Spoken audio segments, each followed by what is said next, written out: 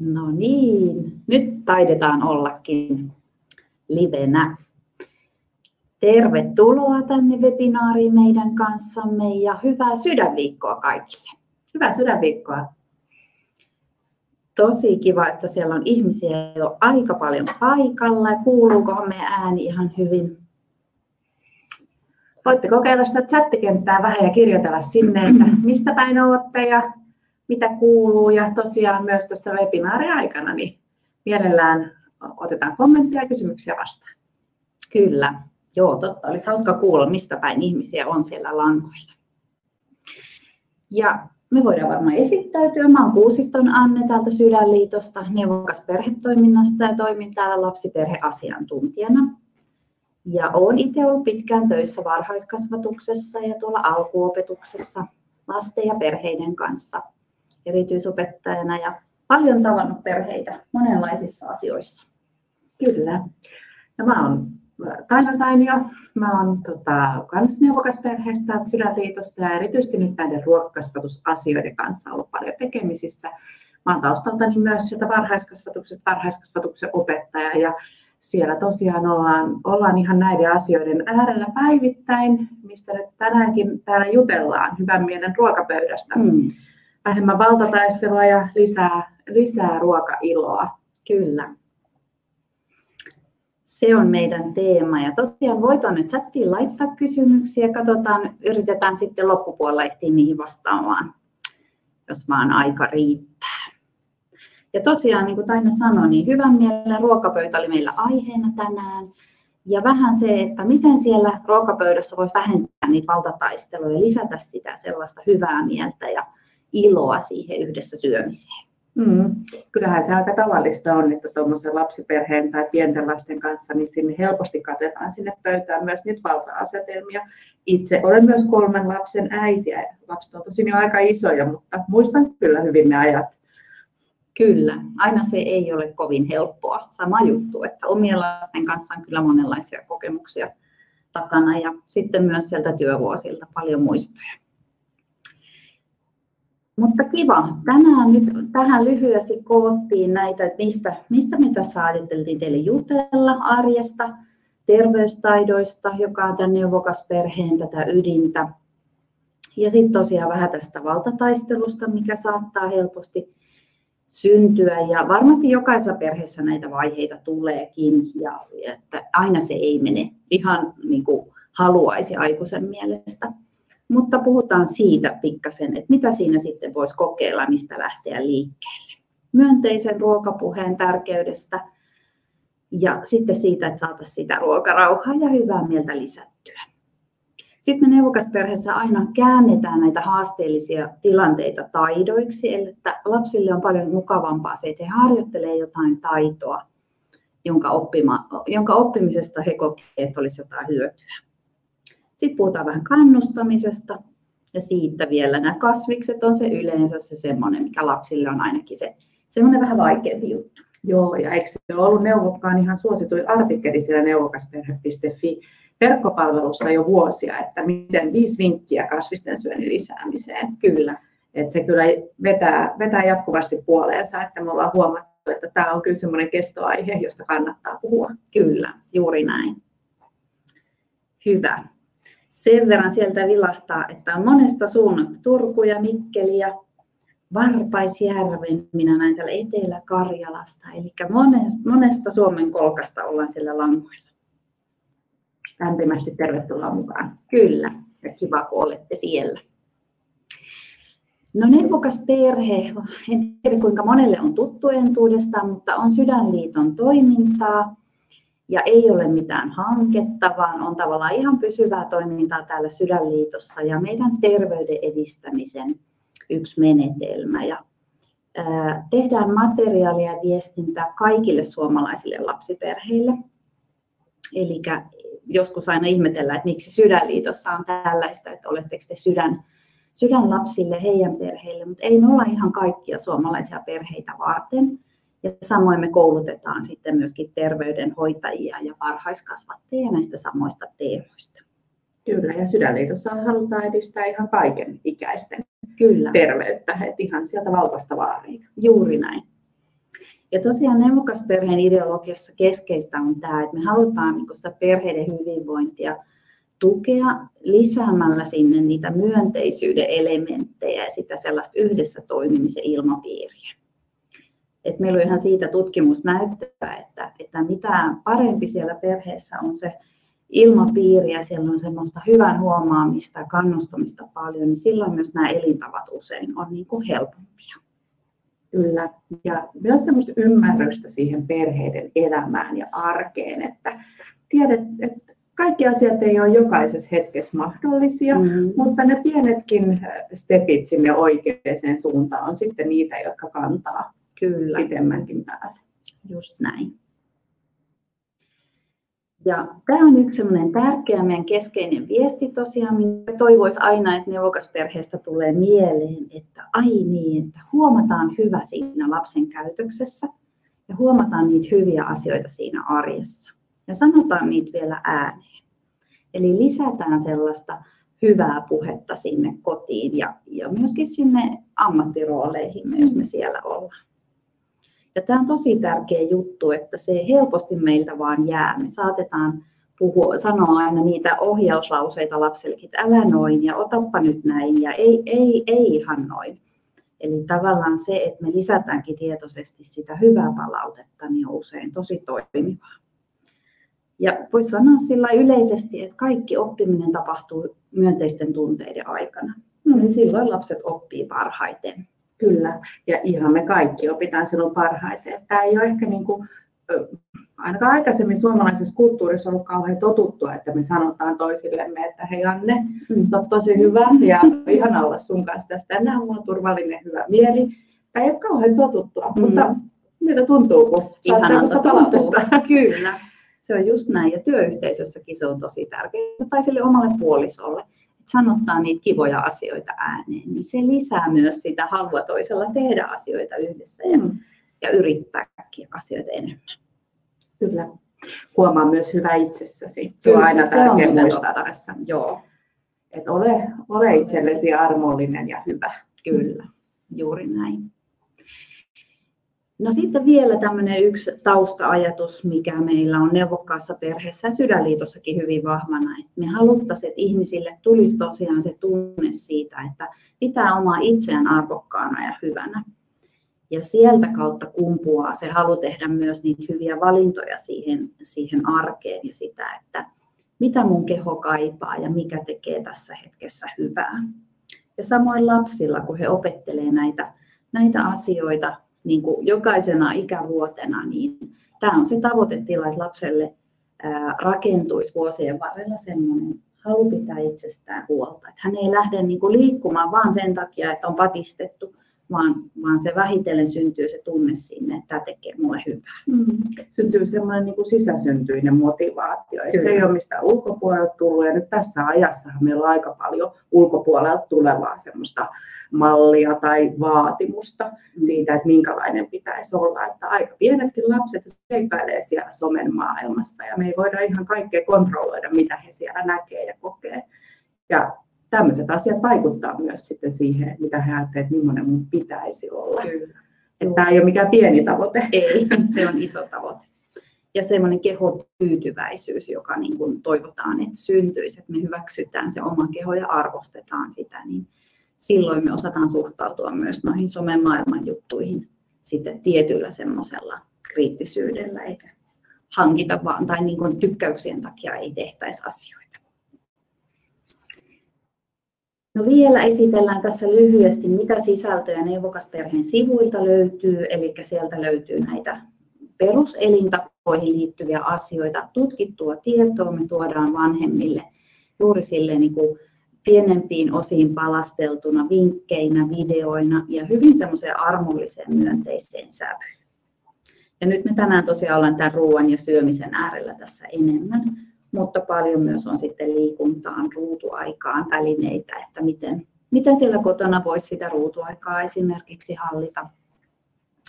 Ja sitten myös tuo rauhoittumisen taito on tosi tärkeä, mistä vanhemmat nykyään kyllä paljon mulle ainakin on puhunut sitä, että, että se on kanssa meille aikuisille ja se on lapsillekin vaikeaa. Miten mä rauhoitan itseäni iltaisin tai tai niille hetkille, jolloin pitää kestää vähän sellaista tylsyyttä, niin se ei olekaan enää kovin helppoa.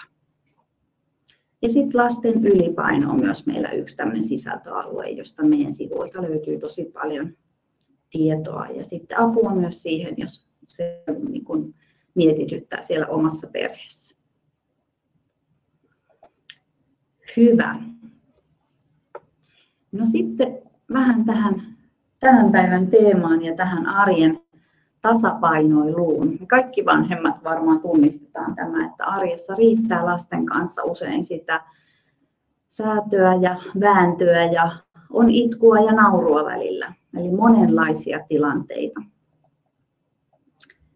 Ja arjessa näyttäytyy hyvin paljon nämä ikäkaudet, minkä ikäisten lasten kanssa ollaan ja kuinka iso perhe ja perhe, niin kuin perheen lasten temperamentit ja sitten toisaalta myös se vanhempienkin oma semmoinen jaksamisen taso ja se, että miten, miten siinä hetkessä se arki on sujuvaa. Kyllä, kyllä se on, että lapsiperheessä aina joku vaihe meneillään kyllä. tuntuu. Aina on joku, on umma tai joku vauvavaihe tai joku kasvuvaihe, aina edetään jotain vaihetta ja sitten siinä on niitä muita, muita tekijöitä, on omaa työtä ja eri-ikäisiä lapsia, on harrastuksia, niin se on välillä melkoista tasapainoilua. Juuri. Ja myös tässä se, että, että tota, aika, aika silleen, tässäkin ihanasti kuvassa näkyy, näettekö tuolla ruoka-annoksessa, niin siellä on tuommoinen Eines ruokalaatikko taustalla, että se on ihan riittävä hyvä. Ja kun jotain joskus onnistuu saamaan vihreitä siihen lautaselle viereen, ja, niin se niin kuin riittää. Et ei tarvitse vaatia itsellään mahdottomia, että nyt pitää olla itse kasvatetut luomujuurekset Kyllä. pöydässä ja soseutettuna hienosti, vaan juuri aina itse tehtyä alusta alkaen, mm. vaan, vaan semmoinen riittävän hyvä on siinä vanhemmuudessa kyllä tosi tärkeä. Kun pyrkii siihen 7-8 keskivertoarkeen, niin se on jo todella hyvä. Et helposti vanhemmuus kuormittuu aika paljon semmoisilla vaatimuksilla ja ää, niin kuin toiveilla, mitä itselleenkin asettaa, että mun pitäisi pystyä parempaan ja enemmän.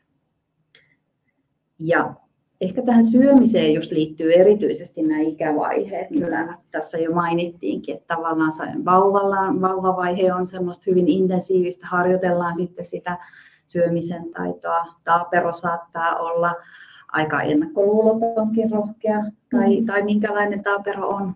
Leikki-ikäisenä se saattaa taas muuttua, että lapsi muuttuukin vaikka valikoivaksi ja hyvin ennakkoluuloiseksi ja sitten taas kouluissa saattaa olla jotakin, että kaverit vaikuttaa tai että ne vaihtelee oman niin kuin yhdenkin lapsen kohdalla paljon ne vaiheet. Kyllä.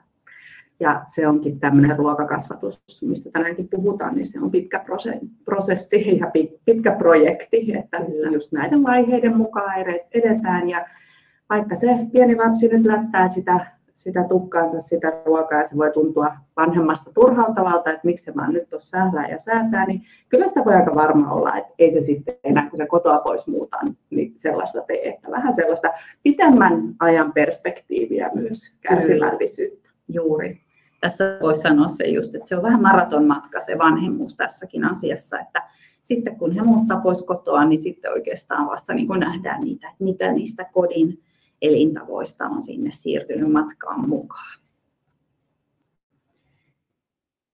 Ja se on niin kuin nykyajassa tosi tunnistettavaa, että me perheetkin ollaan hyvin erilaisia, että jokainen perhe on omanlaisensa, että, että varsinkin kun puhutaan tästä syömisestä ja syömisen haasteista, niin ei ole yksittäisiä ratkaisuja, mitkä niin kuin me voitaisiin sanella, että, että tehkää näin, niin sitten se sujuu.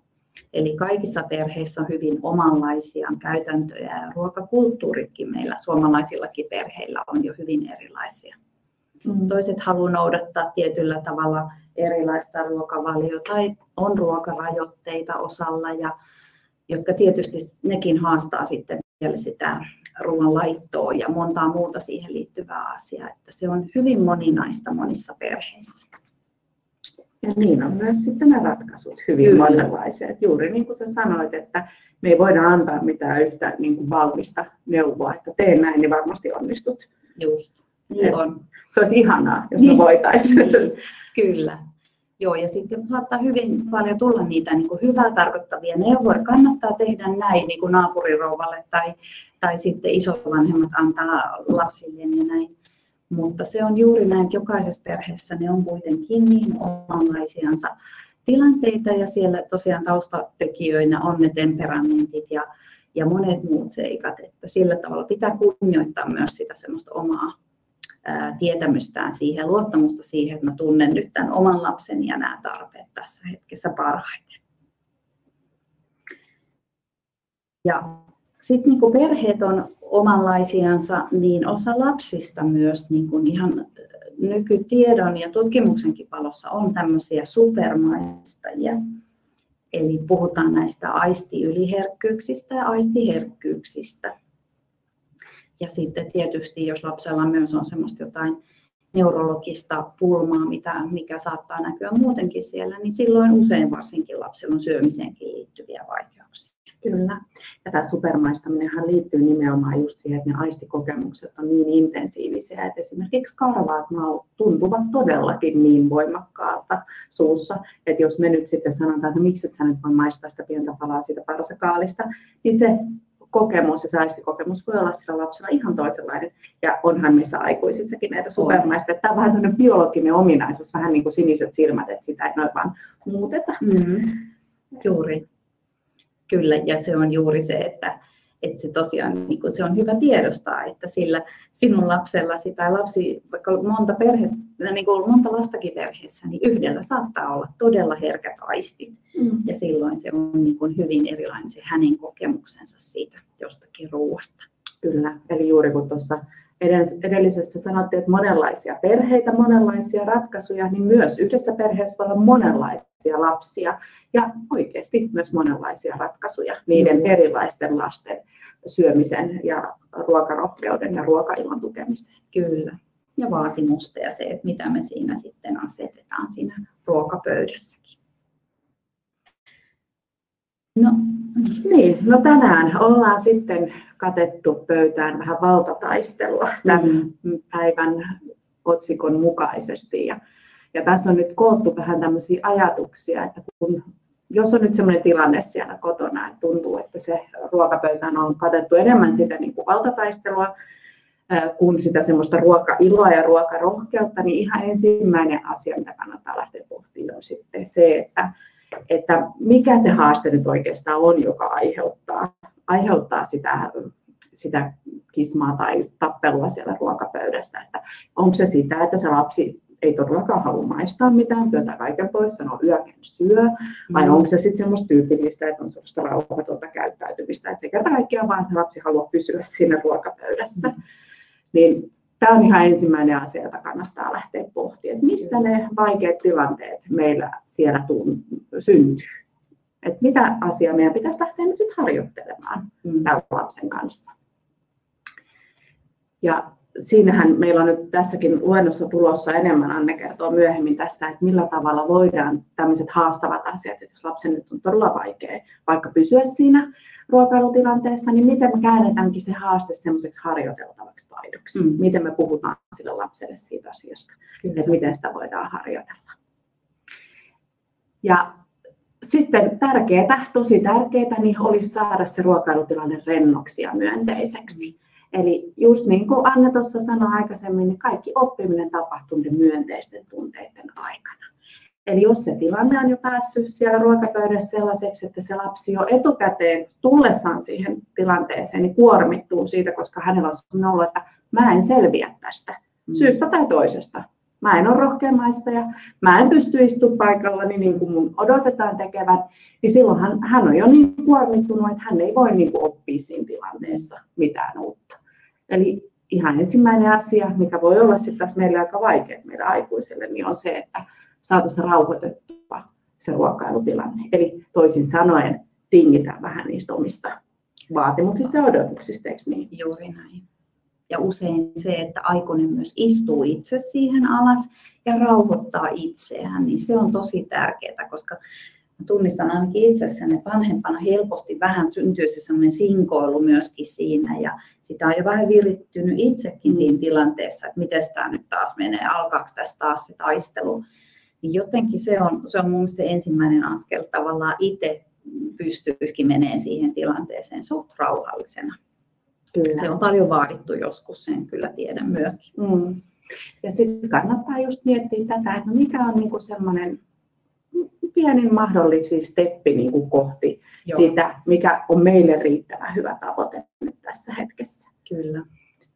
Ja jos se vaikka on sitä rauhattomuutta siinä pöydässä, niin tosiaan miettii se, että, että mitä me odotetaan siltä lapselta, että istuuko hän sen aikaa, että hän syö jonkin verran ja, ja niin kuin sovitaan, että tavallaan vähän miten sitä voidaan harjoitella hänen kanssaan. Heti peukutetaan ja kehutaan, kun hän siihen pystyy vähänkin sen suuntaisesti.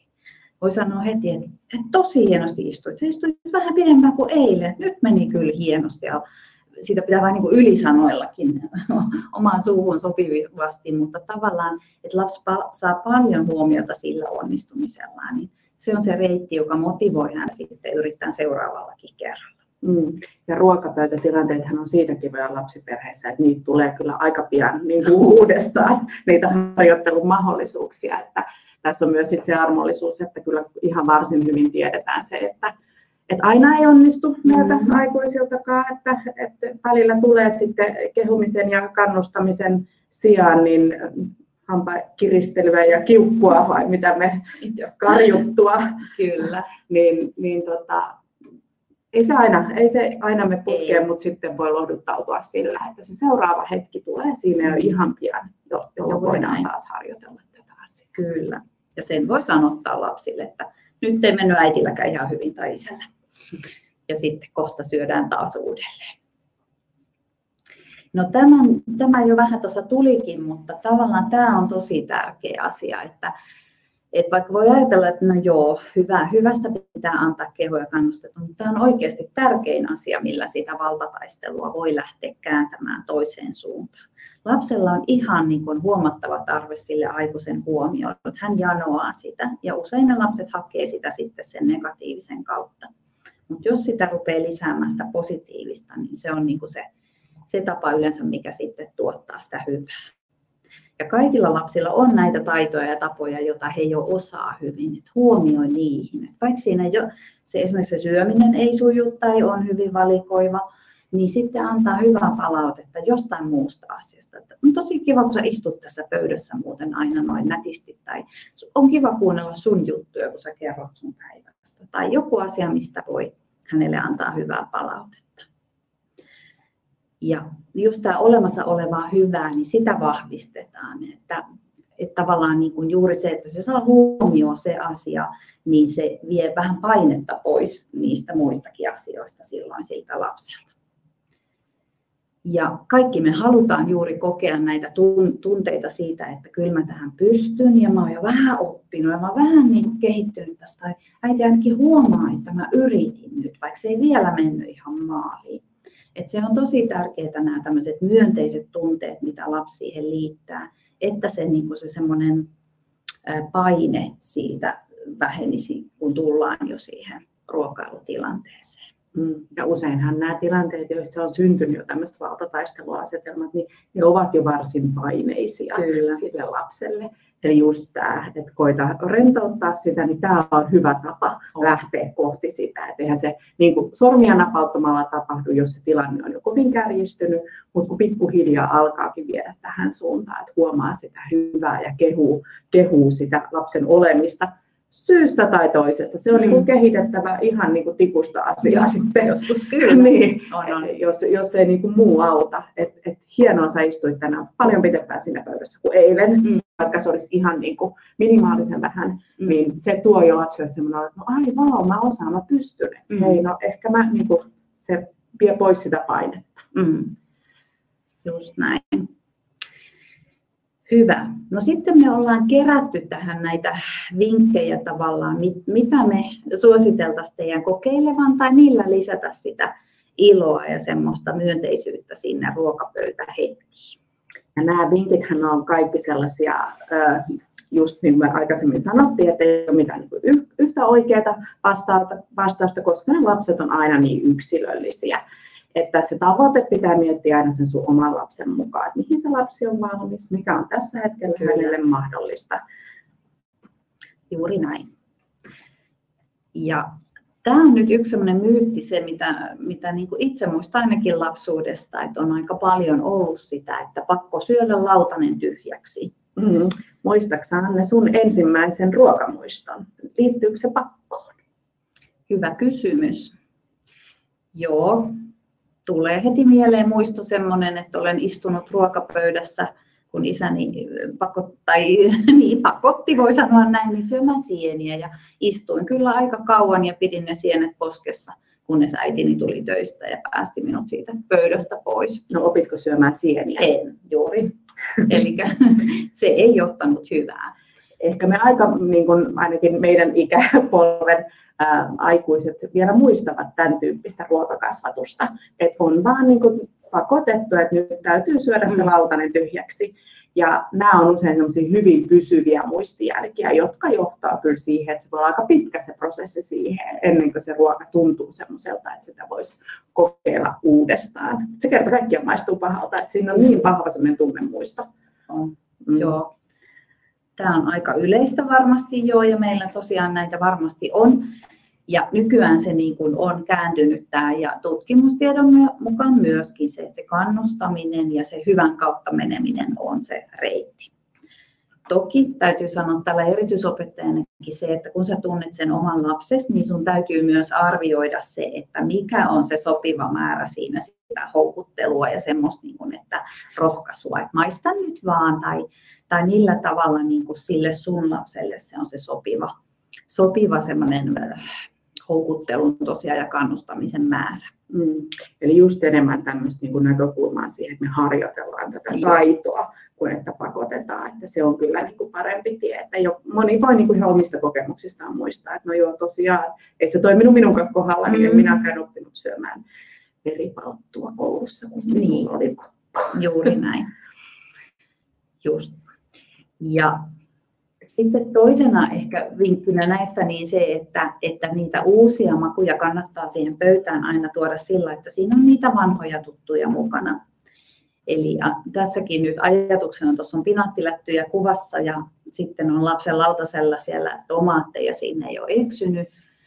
Ja ja sitten on rohkeasti siellä taitaa olla basilikan lehtikin. Eli tavallaan, että lapselle tulisi tapa ottaa ainakin niitä tuttuja sieltä kasvislautaselta. Ja sitten kun niitä on tarjolla niitä muitakin ja hän näkee, että muutkin niitä syö, niin jossain kohti hän sitten rohkaistuu niitäkin itse kokeilemaan. Ja myös sitten se moniaistisuus, että, että vaikka se basilikankin kun ottaa, niin sitä voi se riittää, että sitä haistaa tai voi nuolaselmalla kokeilla ja näin, mutta viedään sitä painetta pois, että vaikka se siellä lautasella käy, niin se ei silti vielä tarkoita, että sun on se nyt pakko syödä ja nielasta. Kyllä, ja sitten siedetään sitä, että lapset ottaa sitä ruokaa, ne kokeilee sitä, ne tutkii sitä. Kaikilla aisteilla tämä on hirveän tyypillistä, että kun pieni lapsi tutustuu johonkin uuteen ruokaan, niin ei se sitä ensimmäiseksi suun välttämättä, mm. vaan hän haistaa sitä Kyllä. ja kokeilee sormilla. Ää, niin, niin tämä on tärkeää, että tämä sallitaan, jos on. halutaan, että lapsi uskaltautuu sitten vielä käyttämään jopa sitä makuaistia lopulta siihen. Niinpä. Just näin. Ja tästä sormella syömisestä hyvä, kun sanoit, niin helposti meillä aikuisilla saattaa tulla myös, voi et, et, nyt tulee sotkua ja, ja koita palusikalla ja näin, mutta se, se kannattaa myös koittaa se sammakko nielasta, että en, en puutukaan heti, että sitten tosiaan tulee sitä sotkua ja lapsi tekee sen omalla tavallaan, mutta se on loppujen lopuksi aika lyhyt aika, kun sitä sotkusta syömistä on, että se kannattaa niin kuin elää läpi, koska se on sitä ruokaoppimista parhaimmillaan, että saa niin kuin vähän myös tutkia sitä ruokaa. Kyllä. Siellä on meille joku kysymys, niin katsotaanpa tota, loppupuolella, niin yritetään vastata. Joo. No, tämä on uudessa ruokailusuosituksessakin tämmöinen lause, mitä nyt kovasti viljellään. Ja tämä on kanssa tähän suuntaan, että lapsi syö, mistä pitää, pitää siitä, mikä on tuttua, ja tutuksi tulee se, mitä on tarjolla usein. Eli just tähän edelliseen liittyen, että kun sä tarjoat sen vanhan tutun kanssa, josta se lapsi jo pitää, koska se on tuttua, niin niitä uusia asioita, niin sinnikkäästi vaan asettamalla sitä tarjolle hyväksymällä myös kenties se, että siitä saattaa tulla jonkin verran ruokahävikkiä, koska kun lapsi mm. harjoittelee asioita, niin, niin silloin sitä saattaa jonkin verran aina syntyä. Mm-hmm. Niin äh, pikkuhiljaa, kun riittävän kärsivällisesti sitä tarjoilee, niin se tulee tutuksi. Joo. Ja tuttu maistuu paremmin. Kyllä, juuri näin. Esimerkiksi on niin näyttöä siitä, että hedelmiä kannattaa olla kotona esillä, koska se on jo ihan selkeä semmoinen, että niitä niin näköisellä ja ne tulee tutuksi ja näkee, että tuosta vanhemmat tai isot sisarukset nappaa, niin lapsi oppii siitäkin mallista. No sitten säännöllisyys on tietysti yksi tärkeä semmoinen asia, mitä niin kuin tästä tietysti paljon jo puhutaankin, että lasten kanssa pääsee helpommalla ja sitä nälkäkiukkua tulee vähemmän kuin, kun se on säännöllistä. Ja tavallaan me helposti vanhempina sitten vähän hermostutaan, jos ei se ruoka nyt meikään, niin, niin tavallaan sen hyväksyminen myöskin, että se nälkä myös vaihtelee. Että silti kannattaa pitää sitä aika tasaisena sitä tarjontaa jolloin lapsenkin se niin kuin nälän tunnistaminenkin usein helpottuu. Että nyt se alkaa lähestyä se kello 11 ja rupeakin huomaa, että mulla on jo nälkä. Mm, kyllä. Ja tähän liittyy myöskin se, että ei kannata hermostua siitä, että, että tosiaan niin kuin lapsilla varsinkin niin se nälkä vaihtelee hyvin mm. paljon. Et joskus voi olla ihan kirjuva nälkä, mutta jos ei, joskus ei nälkä laisinkaan. Niin vaikka se lapsi ei söisi mitään, niin ei kannata alkaa pitää mitään catering-palvelua siinä, että no ottaisitko sitten tätä tai ottaisitko tätä tälleen tuputtamalla. Mm. Vaan sitten todetaan, että näitä ruokailutilanteita tosiaan tulee silloin no niin kuin kolmen, neljän tunnin viimeistään välein, kolmen tunnin välein lapsiperheessä, että seuraavalla kerralla sitten Kyllä, varmasti maistuu. Kyllä. Ja noin kodin ulkopuolella aiheut, tai ruokailut, niin monesti nekin on tietysti aiheuttaa vanhemmille helposti semmoista vähän niin kuin huolta ja, ja tuskaa. Ja kyllä mä ainakin mulla on ollut aika tämmöiset niin kuin herkät lapset ja on ollut allergiaa paljon ja muuta, niin, niin kyllä mä silti sitten kannoin, koska tiesin, että niin kuin mulle lapsilla tuli helposti se nälkäkiukku, jos se oltiin jossain kylässä ja se ruoka ei olekaan niihin aikoihin, kun on totuttu, niin sitten taas kannattaa sitä miettiä, että onko itsellä sitten mukana jotain, millä, millä niissä tilanteissa helpottaa sitä omaa stressiänsä ja sitten sitä lapsen jaksamista. Että nämä on tietysti tosi yksilöllisiä aina sitten nämä Kyllä. keinot. Kyllä, joo.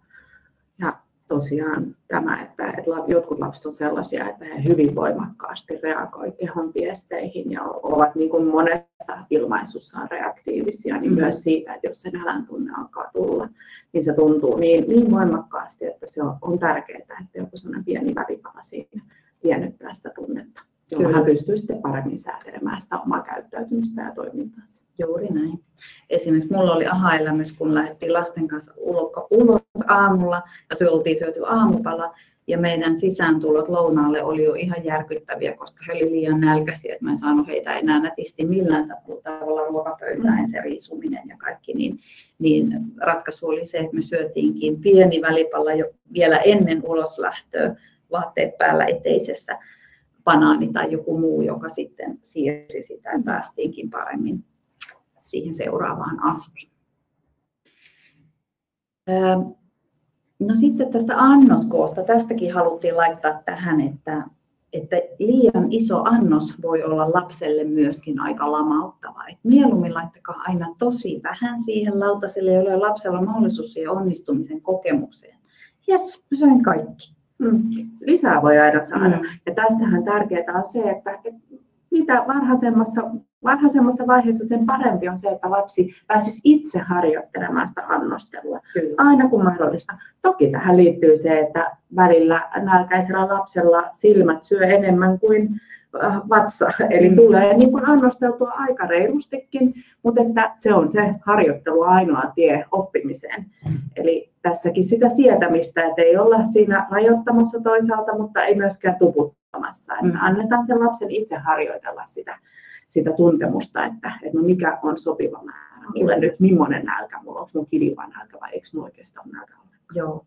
Ja se on hyvä kysymys lapselle myös sanoa, että mitä sun masu sanoo että lapsi tavallaan vie sen huomion sinne omaan vatsaan ja vähän kuulostelee, että miltä minusta nyt tuntuu. Esimerkiksi kun puhutaan lisäottamisesta, että haluanko mä lisää. Eli tavallaan ohjata lasta myös sen oman kehon kuunteluun. Niin se on tärkeä ja hyvä taito monessa.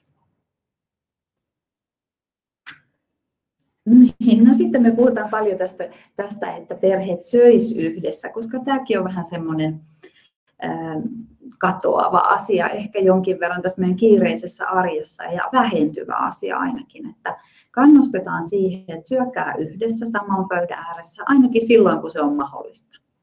Varmasti on tilanteita, jolloin ei pystytä yhdessä syömään ja sekin on niin kuin, sitäkään ei kannata liikaa paineita ottaa, mutta, mutta voiko se olla esimerkiksi se iltapalahetki, jolloin sitten kokoonnutaankin samaan pöytään ja vähän kohdataan toisiamme ja vaihdetaan kuulumisia.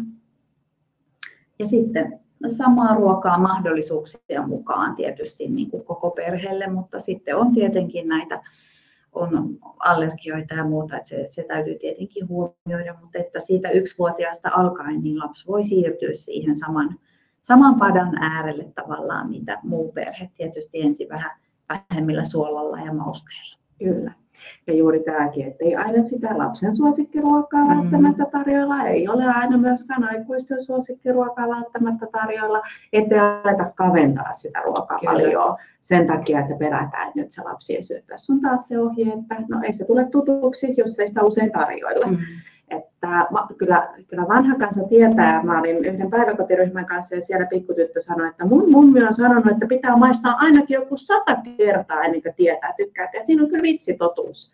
Eli asioita pitää maistaa monta kertaa mm. ennen kuin niistä, ennen kuin ne alkaa tuntua niin tutuilta. Juuri näin. Mm. Ja sitten toisaalta paine siitä maistamiseen ei kannata niin heti mennä siihen, vaan se, että, että se vieraampi ruoka niin saa ensin olla kuitenkin sitä semmoista, että se käy lautasella ja siihen tutustutaan ehkä niin kuin muulla tavoin. Ja kyllähän me nyt ihan uusimmastakin tutkimuksesta tiedetään, että sillä on tosi iso merkitys, että mitä, mitä tota isot edellä, niin pienet perässä, että kyllä lapset tosi tarkkaan seuraa niitä oman perheensä huoltajien tapoja ja tottumuksia kasvisten syönnin suhteen.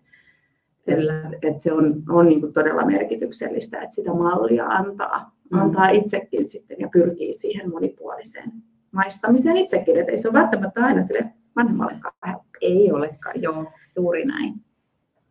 Ja vielä tässä tekee mieli sanoa, että me vanhemmat helposti vähän siihen semmoisen, että no äitillä on nyt tämmöinen salaattivalio tässä tai niin kuin omanlaisensa joku dietti tai, tai näin. Sekin on lapselle vähän sellainen viesti, että aha, nyt, nyt pitää syödä vähän mm. eri tavalla, että äiti yrittää nyt ilmeisesti laiduttaa tai jotakin, että, että mä niin kuin vähentäisin sellaisenkin viestin näkö, näyttämistä lapsille, että tavallaan, koska siitä niin helppo, ne pienet korvat on tosi tarkat havaitsee niitä meidän merkityksiä siellä taustalla ja, ja semmoinen niin oman kehon muuttaminen ja tyytymättömyys, huokailu omista kiloista, niin lapset on tosi herkkiä sitä kuulemaan ja se tulee noille valitettavan varhain niin kuin lapsille jo malliksi, että aina pitää laihduttaa tai jotain muuta. Mm, mm. Sitä kannattaa yrittää välttää. Ja että siihen ruokaan ei liittyisi tuommoisia niin rajoitteita, mm. vaan se olisi tosiaan semmoista yhteinen mukava hetki, että onhan ruoka just tosi tärkeä sosiaalinen hetki, mm. joka se on paljon muutakin kuin vaan sitä energian tankkausta, että siihen liittyy sitä yhdessä olemista ja sosiaalisuutta ja yhdessä jakamista ja iloa. On. Se on tosi merkityksellistä meille niin kuin ihan tälle biologisestikin ajateltuna. Mm kaikki, kaikki eläinlajit tykkää jotenkin jakaa sitä Kyllä, ateriaa. Yhteinen syöminen. Mm. Hyvä. No sitten tärkeä viesti on tämä, että anna lapsen osallistua, siedä sitä sotkua. Sitä tulee ja varsinkin jos lapsi saa leipoa tai, tai tehdä jotain ruokaan liittyviä juttuja, mutta se on kaikista parasta ruokaoppimista ja madaltaa sitä kynnystä maistaa ja kokeilla myöskin. Että varsinkin nämä lapset, joilla on sitä tahtojen taistelua, niin siinä pilkkoessaan saattaa sitä jotain uutta maistaa, kun siinä ei ole sitä painetta, mikä sitten siinä ruokailutilanteessa jo itsessään on eri tavalla. Mm. Ja ylipäätään semmoinen konkreettinen yhdessä tekeminenhän on ihan kaiken lapsen oppimisen perusta. Kyllä. Että kun me yhdessä tehdään ja leikitään ja ollaan siinä yhteisen asian äärellä, niin se on kaiken oppimisen perusta, myös tämän ruokaoppimisen perusta. Että, että me ihan liian harvoin huomioidaan tämä, että me opetetaan lapselle monenlaisia taitoja, mutta sitten jotenkin siinä vaiheessa, kun äiti valmistaa ruokaa, niin laittaa pikkukakkona päälle mm. lapset pois jaloista, kun ne vois ihan yhtä hyvin olla siinä harjoittelemassa Kyllä. ja olemassa yhdessä. Että. Just näin. Ja rohkeasti vaan. Mä ainakin antanut kaksivuotiaasta alkaa jo veitsen käteen ja tuommoisen ruokailuveitsen, niin ihan hyvin he sille ei tule haavoja eikä mitään, että nopeasti oppivat näitä käyttämään. Ja yksi hyvä vinkki on se, että lapsella on oma leikkuulauta ja sitten just joku tämmöinen oma nimikkoveitsi. Voi olla myös essu, joka sitten tavallaan heti siitä tulee semmoinen mun juttu, kun hän mm. saa niitä käyttää. Mutta täytyy taas tässä muistuttaa, että nyt kun mä sanoin, että äiti menee laittaa ruoan ja lapset pikkukakkosen ääreen, niin se on siis ihan okei. Niin. Että ei kyllä niin kuin joka päivä tarvi jaksaa niin kuin sitä lasta sinne keittiön mukaan ottaa. Että silloin tällöin niin, riittää ihan hyvin, että yhdessä, yhdessä tehdään. Että tota, joskus tarvii saada ruokapöytään nopeasti ja aina ei ole mahdollista sitten olla, tai ehkä jaksamistakaan olla siinä kärsivällinen ja yhdessä laitella, niin se on, se on erittäin okei. Kyllä ei aina, aina ei voi jaksaa. No tästä jo vähän puhuttiinkin, että panostetaan tähän semmoiseen tosiaan semmoiseen niin hyviin asioihin ja puhutaan semmoisista mukavista asioista siinä ruokapöydässä. Että esimerkiksi yksi tosi kiva tapa on, mitä nyt tässä sydänviikollakin me ollaan mainostettu, niin on tämä, että tehdään semmoinen äh, kuulumisten kierros. Jokainen saa kertoa jotain mukavaa omasta päivästään tai lähipäiviltä, joku hassun tapahtuman vaikka, että, että viedään sitä puhetta semmoisiin kivoihin asioihin ja kysellään, jos on koululaisia ja eri-ikäisiäkin siinä pöydässä, niin, niin se on aika kiva tapa ja silloin lapset usein jaksaakin olla siinä vähän pidempään ja keskittyvät kuunteleen, jos, jos jokainen saa vähän jotain tuottaa siihen. Kyllä, ja kyllä on tärkeää, että, että se lapsi saa niin jokaisesta ruokailusta nyt jonkun kiitoksen. Just. Et, et aina, et jos vaikka nyt ei sitten olisi ruoka, ollut lempiruokaa eikä olisi maistanut ja, maistunut ja on ollut vähän ehkä hankalaakin siinä pöydässä, niin sitten keksitään se joku paikka. Että tosi kivat kuulumiset sä kerroit tänään mm. tai, tai hienosti sä siinä olit meidän seuraava nyt hetken aikaa. Niin, jotain positiivista jotain, aina, just näin. jotta sinne haluaa tulla uudestaan. Mm, just. Joo, tämä on tärkeä homma. Ja sitten tämä häiriötekijät, mitkä niin meitä nämä puhelimet ja läppärit ja muut tässä hetkessä tosi paljon niin koukuttaa, niin tämä on yksi kanssa semmoinen, mikä, mikä varmasti perheissä aiheuttaa sitä haittaa. Ja, ja tota, tämä täytyy kanssa sillä niin miettiä siellä kotona, että miten näihin suhtaudutaan. Ja kyllä me täältä niin suositellaan sitä, että ne ruokailuhetket pidettäisiin semmoisena vapaina siltä, että ei tuoda siihen niitä puhelimia. Ja se olisi niille, niille aikuisillekin se, se sama sääntö tavallaan pitää olla kyllä lapsille ja aikuisille. Kyllä. Et tarvii niin kuin itsekin sit pohtia se, että niin. pitääkö joka piippaukseen reagoida. Et siinä ruokailutilanteessa, kun se puhelin hälyttää, niin ei tarvitsekaan sännätä ja katsoa, vaan mä näytän sitä mallia, että mä maltan, että tämä on nyt tärkeämpää, että me ollaan yhdessä syömässä. Juuri näin. Joo, mutta tässä tekee mieli sanoa sitten se, että, että tavallaan on kuitenkin aina poikkeustilanne, jos sulla saattaa olla kipeä lapsi tai joku tosi vaikea tilanne ja muuta, niin kyllä mä sitten taas tiedän, että välillä se puhelin on se, millä sen tilanteen yli päästään ja, ja lapsi saattaa niin kuin saada siitä sen pienen lohdun tai, tai jotain muuta. Että nämäkin on tämmöisiä hyvin yksilöllisiä, mutta pääsääntöisesti mä suosittelisin sitä, että, mm. että ruokapöytä näiltä tota, pidetään, koska varsinkin kun lapset kasvaa ja tulee kouluikään, heillä on ne puhelimet ihan jatkuvasti kädessä, niin se on kyllä semmoinen hyvä sääntö, että tavallaan nämä hetket ollaan yhdessä silloin, sit, kun syödään. Kyllä.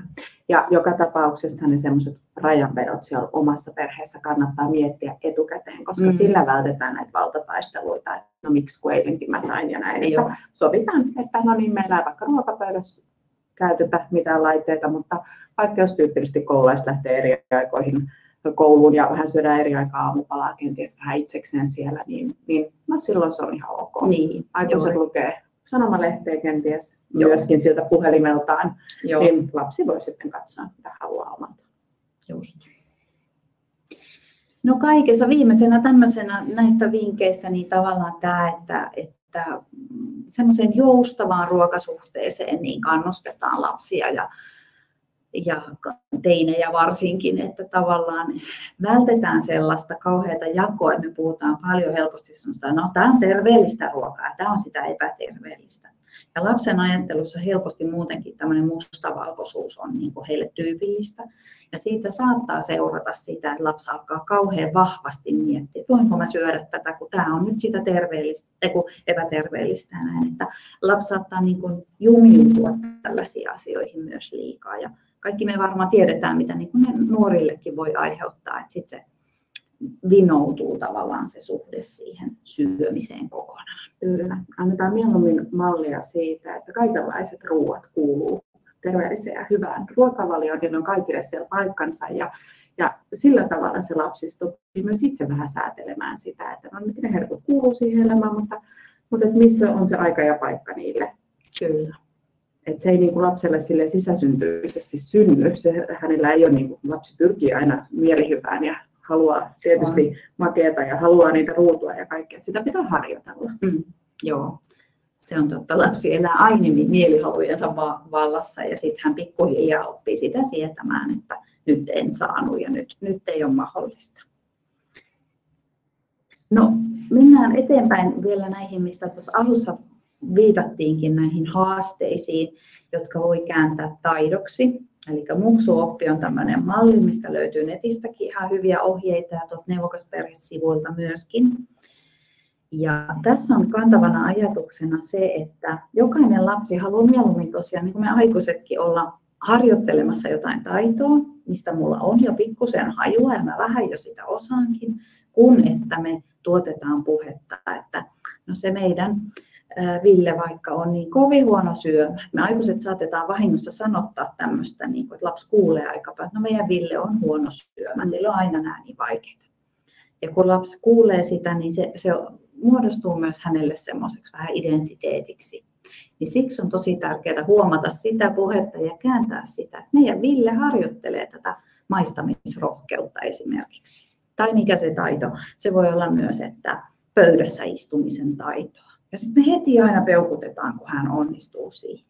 Kyllä, ja joillain lapsillahan toimii tosi hyvin tässä nyt erilaiset semmoiset supersankariharjoittelupolut, mallit, joissa sitten annetaan vähän pienestäkin onnistumisesta sitä tarrapalkintoa, että se lapsi Kyllä. siihen motivoituu. Joo, voi kerätä merkkejä mm. tai jotakin muuta. Ja tähän lyhyesti keräsin tämän polun, että miten sitä kannattaa harjoitella, mutta nämä tosiaan löytyy paremminkin aukastuna tuolta meidänkin verkkopalvelusta. Ja tässä on nämä askeleet, miten sen kanssa edetään. Että lapsen kanssa se sovitaan, että mikä se on, niin sille voi keksiä joku hauskan nimenkin sille taidolle. Ja tosi tärkeä kohta näistä on se, että mitä hyötyä tästä on lapselle että hän motivoituu siitä, että esimerkiksi kun mä opin syömään jotain tämmöistä tavallista, niin mä voin vaikka kaverin luona selvitä paremmin tai, tai ei tule semmoisia kiusallisia tilanteita jossakin, jossakin kyläpaikassa. Ja sitten sovitaan, miten sitä harjoitellaan, sitä taitoa, ja sitten, että ketkä tähän voitaisiin ottaa vähän tämmöiseksi kannustajiksi. Tämä on tosi tärkeää lapselle usein, kun se äidin tai isän kanssa se suhde voi siinä on niin monta monessa, niin sitten että siinä olisi myös ulkopuolisia ihmisiä, jokunen, jotka päiväkodista tai, tai naapurusta tai jostain muusta niin kannustaa. Me kuultiin, että sä oot uskaltanut laittaa jo lautaselle tai, tai mikä ikinä se sitten onkaan. Et sitä positiivista tulisi monesta suunnasta. Ja sitten voidaan sopia, että mikä on se palkinto, mikä tästä seuraa, kun tätä taitoa on harjoiteltu. Ja sitten lähdetään harjoittelemaan, sovitaan missä määrin ja varaudutaan myös siihen, että ei se aina suju. Sekin pitää lapselle sanoa, että se ei haittaa, vaikka sitten välillä se ei sujukaan. Ja kyllä tämmöisiä harjoiteltavia taitoja kannattaa, just varsinkin jos on jotain vähän pulmaa tai erityistä valikoivuutta, niin kannattaa just sit tarkastella aika pitkälläkin perspektiivillä, kyllä. että ei välttämättä ihan niin kuin nyt sitten päivässä kahdessa tai viikossa tai mm. ehkä kuukaudessakaan tai puolessa vuodessa yhtäkkiä synny ne taidot. Mutta sitten jos katsotaankin pitemmällä perspektiivillä, että hei muistaaksä silloin kesällä, kun sä et vielä uskaltanut ollenkaan ottaa mitään vihreätä koskaan lautaselle. Mm. Ja nyt sä maistelet jo näitä herneitä, ja sä maistelet jo tätä parsakaalia, ja sulle maistuu jo salaatinlehdetkin, että, että onpa hienoa, että miten paljon sä oot rohkaistunut maistamaan se on välillä pitää osata asettaa ne silmälasit riittävän kauaksi, että Joo. huomaa ne pienetkin stepit. On. Mutta sitten toisaalta lapsen kanssa kannattaa ottaa aika pieni se, mistä hän heti saa sitä niin kuin myös myönteistä. Kyllä. Että, että sitten saadaan niitä hyviä. Ehkä se on ainakin erityisesti itselle. Joo, aivan vanhempana, että, että no onhan tässä nyt menty eteenpäin, vaikka välillä tuntuu, että poljetaan paikalla. Kärsivällisyyttähän tämä vanhemmuus aina meiltä kysyy.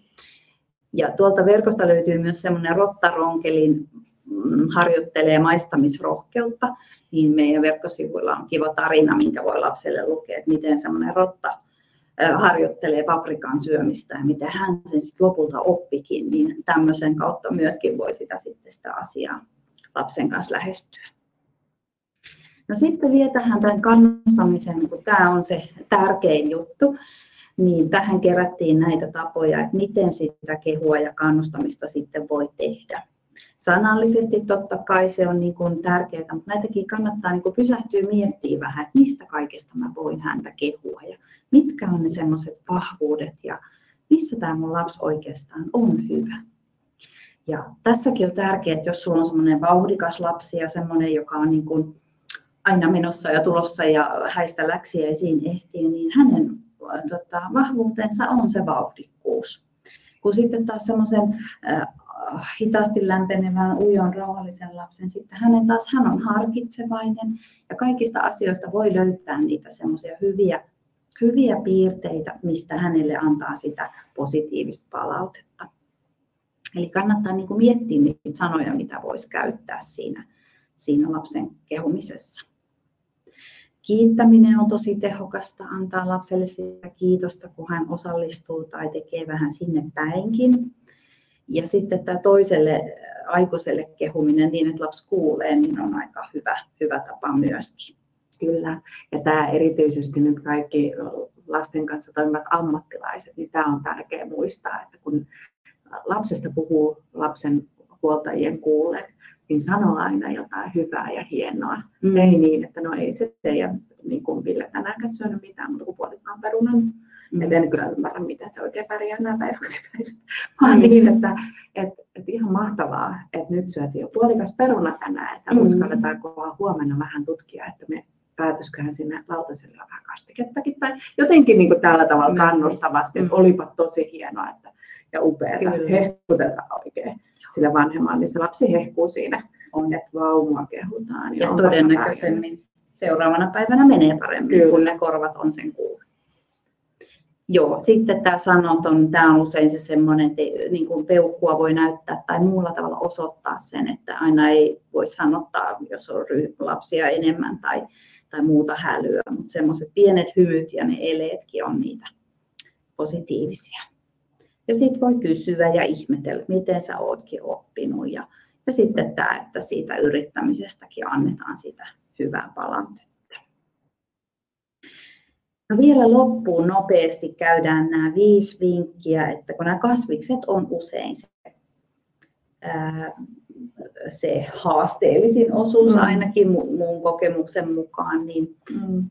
Kasviksissa on aika monenlaista aistille. On. Jos ajattelet, että no usein aika, no on aika värikyllä, siinä on, niin kuin, jos ajatellaan vaikka tuntoa, niin ne on aika rouskuvia ja rapeita ja niissä on aika voimakkaita tuoksuja, jos ajatellaan vaikka jotain kaalia ja monenlaista niin kuin, tutkittavaa ja ihmeteltävää verrattuna vaikka johonkin makaroniin, mm. joka on jo paljon niin kuin, helpommin on enieltävissä. Niin, Tasainen. Niin, mm. kyllä. Joo, niin tämä sormipalat on yksi tärkeä semmoinen, mikä kannattaa muistaa, että näin ne lapsille menee useimmiten parhaiten.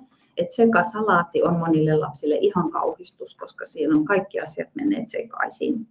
Ja varsinkin jos sulla on semmoista herkkyyttä lapsella, niin parempi on, että, että tarjoillaan niitä selkeinä paloina, joita voi rouskutella. Niitä voi antaa sinne telkkari eteenkin tai läksyjä tehdessä ennen kuin se ruoka on valmis ja muuta, että sillä usein helpotetaan sitä myöskin, että menee jo sinne ennen, ennen sitä päivää. Kyllä, ja kyllähän se on meillä aikuisillakin, että jos sä nyt haluat lisätä oman ruokavalioon kasviksien syöntiä, niin kyllä tällä, että sä pilkot valmiiksi jääkaappiin tämmöisiä helposti naposteltavia kasvispaloja, niin todennäköisesti saat lisättyä myös omaa kasvisten syöntiä. Kyllä, just näin. Sitten just tämä, että uskon lapsen taitoihin ja anna hänen osallistua ja tehdä itse. Se on niin kuin sitä, milloin hän säteilee ja, ja tuntee, että kyllä mä osaan ja mä koko ajan opin ja mua arvostetaan tässä perheessä ja mua tarvitaan. Tämä on niin kuin sellaista mukavaa. Mutta tosiaan se, että ei aina tarvi, ei millään niin kuin arjessa ehdi aina ottaa mukaan, mutta edes joskus kun pyytää, niin se on, se on jo tosi hyvä.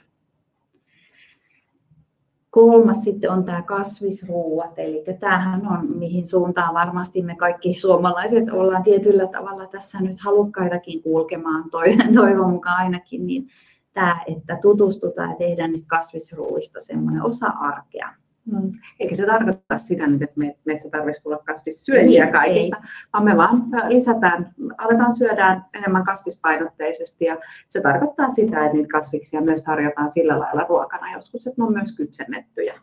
Ja ja tässä on taas tämä sama viisaus, että kun niitä on tarjolla säännöllisesti, ne tulevat tutuiksi, ja kun ne tulevat tutuiksi, ne alkavat maistumaan. Juuri näin. Kyllä. Ja sitten tämä on kiva viesti, tämä, että äh, tämmöisen äh, kasvislau, ei kun tämän, lautasmallin. lautasmallin sijaan, niin jos, joka on lapselle aika vaikeakin tavoite, että pitäisi lautasesta puolet olla kasviksia, niin aika iso tavoite, niin tämä on, tämä on nyt uusi tämmöinen suositus, että joka ruoalla oman kouran kokoinen annos kasviksia tai marjoja tai hedelmiä. Eli viisi kertaa päivässä tulisi se lapsen kouran kokoinen annos niitä kasviksia. Ja tämähän on se yleinen suositus siis meille kaikille, että meille Kyllä. aikuisille nyt sitten oman kouran kokoinen. Juuri näin. Niin silloin me saavutetaan se suositusten mukainen. Mm. Joo, on. Ja pieneen kouraan ei kovin monta kirsikkatomaattia mahdu, tai mitä se sitten onkin. Mutta tämäkin on, tuottaa heti lapselle enemmän niitä onnistumisen kokemuksia. Tuohon mä pystyn. Niin, ja on kauhean niin kuin houkutteleva ja mielenkiintoinen muutenkin, että kuinka monta noita tomaatteja niin. menisi mun kouraan. Että siitä tulee heti semmoinen jännittävä juttu. Täytyy tässä kyllä sanoa sekin, että tässä ei ole mitään ylärajaa sitten. Että se ei tarkoita niin. sitä, että se on vain se yksi koura. Että syötyä niin paljon kuin haluaa, jos vaan maistuu. Juuri näin. Hyvä. Ja sitten vielä viimeisenä tässä tämä, että ruoalla saa leikkiä, mihin me nyt sydänviikollakin kannustetaan, että, että tota, hullutella saa. Sotkea tietenkään ei, että se on sitten eri asia, mutta tavallaan kannattaa siihen ruokaan panostaa sillä tavalla, että joskus tehdään tämmöisiä kivan näköisiä hedelmäeläimiä esimerkiksi, tai laitetaan sille voileivälle silmät ja suu ja mm. pupunkorvat jollekin puurolautaselle, niin se heti saa lapsen mielenkiinnon heräämään ja siihen mm. ruokaan on ruokapöytään onkin erilaista tuulla. Tämähän on aika vallankumouksellinen ajatus nyt, Anne, että ruoalla saa leikkiä. Ja me ajatellaan näin, että se lapsi oppii joka tapauksessa sen leikin kautta itse tekemällä ja kokemalla. Sillä tavalla lapsi oppii kaiken. Ja ruoallakin pitää siis voida saada leikkiä. Välillä tulee sitä sotkuakin mm. kuitenkin. Mutta tässäkin se semmoinen hieno viritteinen raja, että se vanhempi itse parhaiten tuntee sen lapsen, että missä mennään sitten. Kyllä. Missä menee raja, mutta tota, se on pieni hetki, niin kuin on Juuri Se on hetki lapsen elämässä. Kyllä. Anna leikkiä, anna vähän sotkea. Niin on, just näin. Ja lopussa sanotaan teille vielä, että ruokarohkeaksi kasvaminen kestää aikansa. Ja kaikki ruokanen ei tarvitse tulla niin kuin kenestäkään, että kaikkea pitäisi pystyä syömään. Että, että ei meistä aikuisistakaan tullut ja silti täällä maailmassa ihan hyvin pärjätään, vaikka jonkun ja asian jättää, syökkään. Mm. Lempeä toista ja kärsivällisyys. Kyllä. Kiitos, kannustus. Siinä ne avainsanat nyt on, mitä meillä on teille antaa. Juuri näin. Ja siellä oli ne muutama kysymys, siellä oli diabeetikko lapsesta ainakin kysymys, niin se on ihan totta, että se haastaa varmasti siellä vanhempaa kyllä ihan omalla tavallaan. Ja siinä joutuu tietyllä tavalla rajoittamaankin sitä lapsen syömistä ja niin ohjailemaan kellon tarkasti ja sitten hiilihydraattien määrän mukaan että siinä niin kuin oikeastaan nämä samat ohjeet, mutta tavallaan vanhemmalle myös jaksamista ja tsemppiä ja, ja helpota niitä asioita, mitä ikinä pystyt, koska muuten joutuu kuitenkin panostamaan siihen ruoalla, että on enemmän. Kyllä, mutta kuitenkin säilyttäen se semmoinen ruokailo. Että diabeetikkolapsi on ihan yhtä lailla lapsi, niin kuin lapsi joka, joka saa nauttia myös niistä makeista herkuista, joissa on paljon hiilihydraattia, ja sitten sitä hoitotasapainoa haetaan sitten sillä diabeteksen hoidolla. Että et annetaan, annetaan myös diabetikkolapsen niin kuin tutustua ja innostua ja iloita siitä ruoasta, että siitä ei tule joku semmoinen pelottava asia, vaan että mahdollisimman joustava suhde myös hänelle siihen ruokaan syntyisi. Joo, juuri näin.